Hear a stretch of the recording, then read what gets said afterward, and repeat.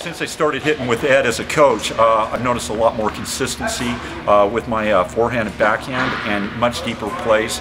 I'm noticing that I'm getting a lot more kick and uh, my slices are staying down. Uh, five or six times every time I'm getting better and my confidence is getting better to hit away.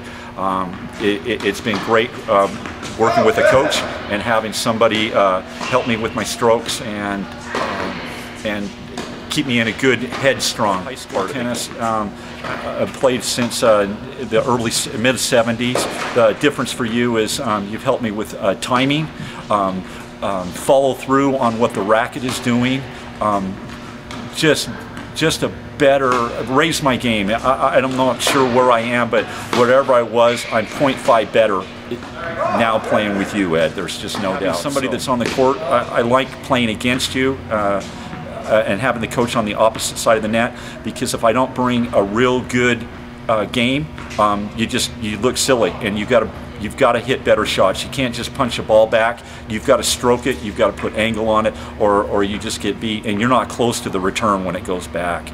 Um, I've also noticed um, that I have to watch the ball much closer um, with the spins that are coming through.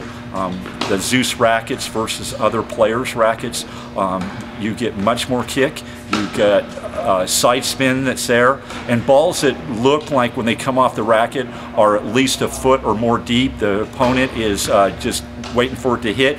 Those balls are spinning in. They're dropping in. So um, it's, it's been a lot of fun working with you, Ed. So.